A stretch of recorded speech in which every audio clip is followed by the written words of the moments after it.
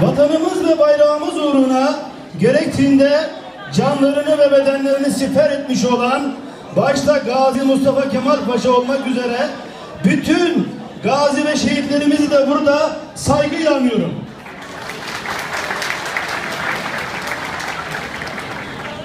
Ben dernek başkanı olarak derneğimizin kurulduğundan bu yana derneğimize gerek başkan, yönetim kurulu ve üye olarak herkesi burada saygıyla anıyorum. Gecemize katıldınız, bizleri onurlandırdığınız için hepinize teşekkür ediyor. Gecemiz neşeli, birliğimiz daim olsun diyorum. Saygılar sunuyorum.